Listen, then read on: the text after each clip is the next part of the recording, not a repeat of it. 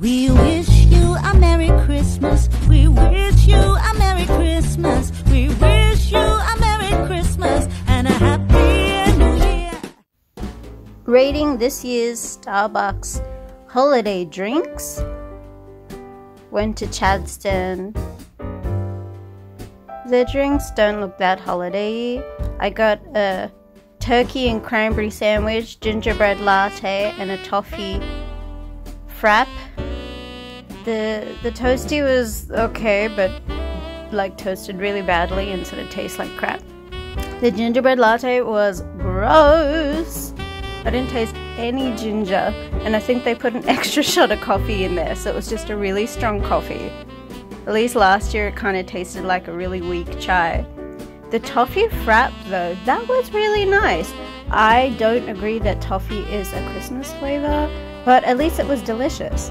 So I would get that year round.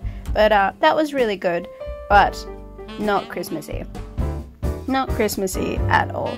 But drinking it while I'm reading A Christmas Carol in Starbucks because I got to try all the drinks.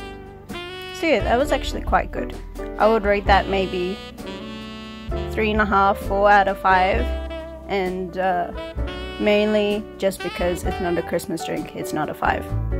But I liked it so much I finished it, so.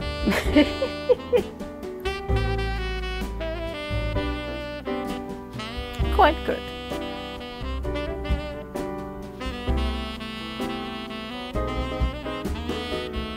So, I'd get that again.